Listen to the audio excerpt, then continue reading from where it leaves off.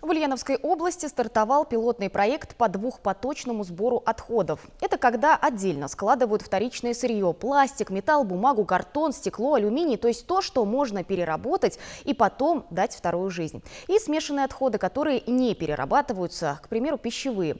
Насколько готовы ульяновцы к реформе чистоты, расскажет Элла Шахова. В нашем регионе продолжают внедрять новый способ сбора отходов.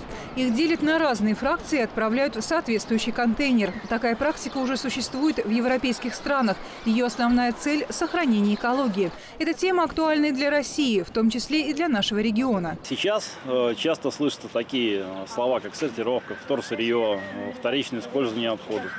А если раньше это было что-то абстрактное, то начиная с 2019 года наши компании по городу и по области стали выставлять сетки для раздельного сбора пластика. В этом году пошли дальше и в начале марта установили контейнеры по двухпоточному сбору отходов, как на улице Облукова возле дома номер 15.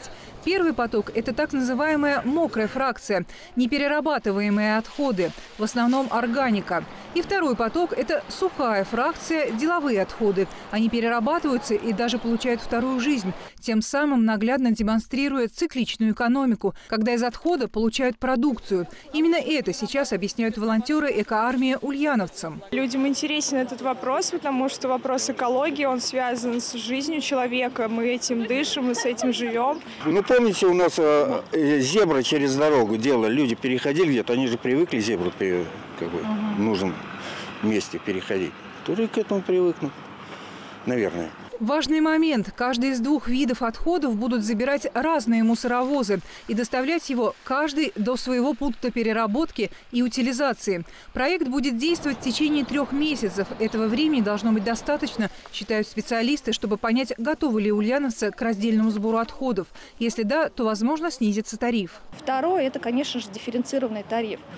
Как только мы поймем объем отходов, которые образуются у населения, а данный э, проект мы планируем реализовывать как пилот три месяца, то бишь квартал, и Э,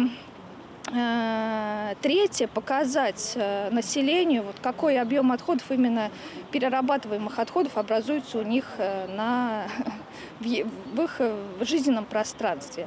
Всего в регионе расположено 274 аналогичных площадок.